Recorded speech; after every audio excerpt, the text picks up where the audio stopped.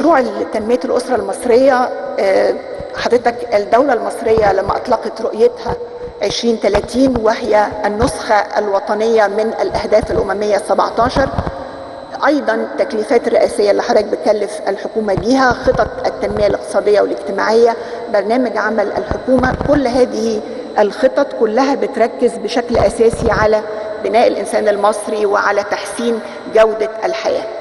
زي ما تفضل دولة الرئيس الدولة المصرية بذلت جهد كبير السنوات السبع الماضية.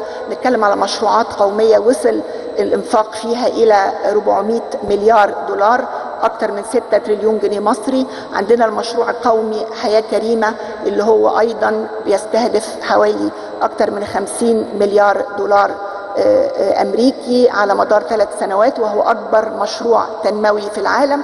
كل هذه المشروعات هدفها الأساسي تحسين جودة الحياة للمواطن المصري.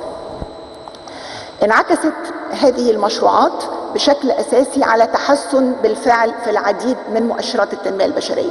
بنلاقي إنه انخفضت وفيات الأطفال دون الخامسة، نتكلم على ارتفاع في متوسط العمر المتوقع عند الميلاد، نتكلم على انخفاض أيضا في معدلات التسرب من التعليم وارتفاع معدلات الانتقال إلى من الصفوف الإعدادية إلى الصفوف الأعلى. كل هذه المؤشرات هي مؤشرات إيجابية بالفعل ولكن تحسن هذه المؤشرات واستدامة تحسن هذه المؤشرات بالإضافة إلى مجموعة أخرى من التحديات ما زلنا بنواجهها زي كثافة الفصول اللي عرضوا دولة الرئيس. كل ده بيؤكد إن إحنا لا يمكن استدامة نتائج التنمية ومؤشراتها الإيجابية بمعزل عن السياسات السكانية. إحنا بنحقق النهاردة الحمد لله نقترب من الستة في المية ولكن استدامة هذه المعدلات وتأثيرها وشعور المواطن بثمار التنمية لا يمكن أن يتم إلا بضبط معدلات النمو السكاني. طيب لما نبص النهارده على النهارده لحضراتكم الوضع السكاني الحالي والمستقبلي في مصر شكله إيه؟ لما نبص على من 1982 إلى 1991 في العشر سنين دول مصر زادت ب 17 و7 مليون مولود. يعني في المتوسط واحد وثمانية مليون مولود كان في بعض الجهود تمت فانخفض معدلات الزيادة إلى واحد وسبعة مليون مولود في المتوسط سنويا. العشر سنين التالية اللي هي من 2002 إلى 2011 زدنا 20 مليون مولود يعني من متوسط 2 مليون مولود سنويا. العشر سنوات الأخيرة 2012 ل 2021 زدنا تقريبا 25 مليون مولود يعني في المتوسط 2.5 مليون مولود سنويا. 2.5 مليون مولود سنويا ده عدد دولة. في دول عدد سكانها 2 مليون.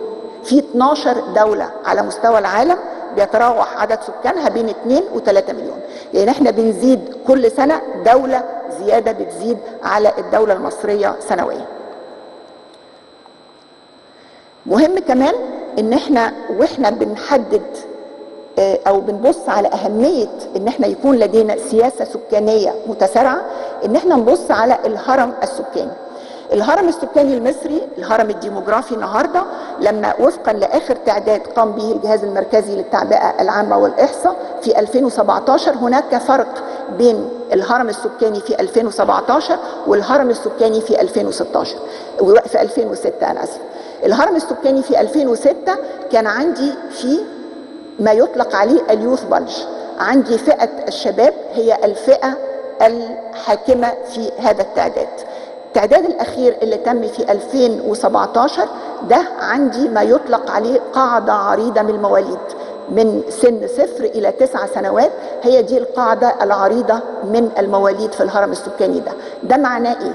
معناه إن أنا اللي هيبقوا مرشحين لسن الزواج في ما بين 2032 و 2040 دول الفئة اللي هتدخل سن الزواج. يبقى إذا لم نتدخل بسياسات سكانية الآن هواجه بطفرة سكانية أخرى خلال الفترة دي. مهم أيضا وإحنا بنبص على زيادات سكانية إن إحنا ما نبصش فقط على معدل المواليد ولكن نبص على معدلات الإنجاب. معدلات الإنجاب أكثر دلالة وهي الحقيقة اللي الواحد بيبص لها وهو بيضع السياسات السكانية. نتكلم على معدلات الإنجاب وبنبص على معدلات الإنجاب على مستوى المحافظات. بنلاقي هناك لدينا عدد من المحافظات معدلات الإنجاب فيها بتتخطى الخمسة آه، آه، طفل لكل سيدة. ده معناه إن هناك سيدات بتجيب سبعة وثمانية وعشرة واثناشر وسيدات تانية بتجيب اثنين وثلاثة فالمتوسطات أيضا دي أرقام كبيرة جدا ده على مستوى المحافظات. أيضا آه، آه، من ضمن الدلائل الهامة معدلات الإنجاب حسب عمر الأم. هنا لدينا آه، مشكلة الزواج في سن أقل من السن القانونية لأن عندنا أطفال ما بين سن 15 إلى 19 عندنا تركز الزيادة السكانية أو معدلات الإنجاب ما بين سن 20 إلى سن 29 سنة. كل ده بيبقى مهم وإحنا بنضع السياسات السكانية وبنضع التشريعات الملائمة لمواجهة الزيادة السكانية. التقديرات اللي إحنا بنتكلم عليها إحنا النهارده بنتكلم على الفرد إن إحنا عندنا تقريبا في المتوسط معدل ثلاثة معدل الإنجاب ثلاثة لكل سيدة. إحنا المستهدف إن إحنا نصل إلى واحد وستة كمعدل إنجاب لكل سيدة. ده هيديني فرق زي ما حضراتكم شايفين في معدلات الزيادة السكانية وبالتالي معدلات الموارد التي تحتاجها هذه الزيادة. في فرق كبير بنتكلم النهارده تقريبا في فرق حوالي 50 مليون نسمة إذا قدرنا إن إحنا فعلا مع بعض نحافظ على المعدل اللي هو واحد وستة معدل إنجاب لكل سيدة. الحقيقة ده آه، مؤشر مهم جدا. وإحنا بنتكلم النهارده آه، على آه، الفرق أو العلاقة بين معدل الإنجاب ومؤشر رأس المال البشري. ده من أهم المؤشرات اللي إحنا بنتكلم عليها لاستدامة التنمية ولوجود دولة قوية بمؤشرات تنمية بشرية قوية. الدول التي لديها معدل متوسط معدل إنجاب ما بين واحد أقصى حاجة اتنين دي الدول التي لديها مؤشر رأس المال البشري بتاعها مرتفع. الدول التي لديها معدلات إنجاب مرتفعة مؤشر رأس المال البشري بتاعها منخفض. رأس المال البشري بتاعنا البشر هم أغلى ثروة لدينا وبالتالي إحنا بنتكلم على مؤشر رأس المال البشري اللي هو معناه بشر صحتهم جيدة متعلمين أحسن تعليم إنتاجيتهم عالية ساكنين سكن لائق وبالتالي قادرين على الإنتاج والابتكار والإبداع.